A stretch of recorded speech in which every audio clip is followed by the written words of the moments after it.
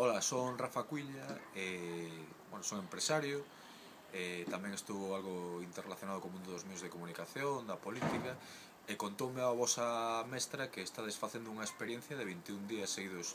falando en galego. A verdade é que podes estar orgullosos de defender o idioma desta terra, como é o galego, que servirá de vos moitísimo no futuro para moitísimas cousas, que o tedes que defender sempre porque vai relacionado sempre co pasado presente e futuro desta terra e que estou encantado de que existan iniciativas e rapaces como a vos que defendades a, a Galicia por riba de todo.